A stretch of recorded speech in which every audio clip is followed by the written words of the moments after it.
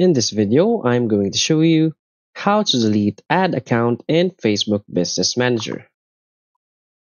So please watch the video until the end and follow this tutorial step by step to avoid making mistakes. So let's get started.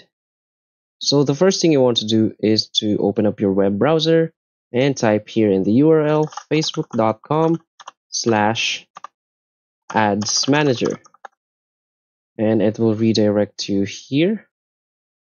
So from here just hover your mouse to the left hand side and click on ad account settings.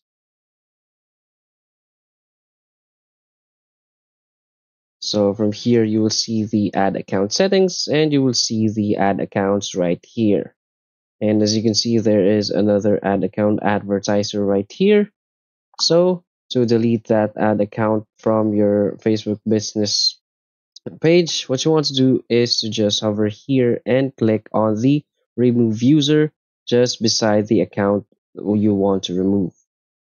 So click on remove user and confirm the removal. And now that account is now removed from your ad account roles.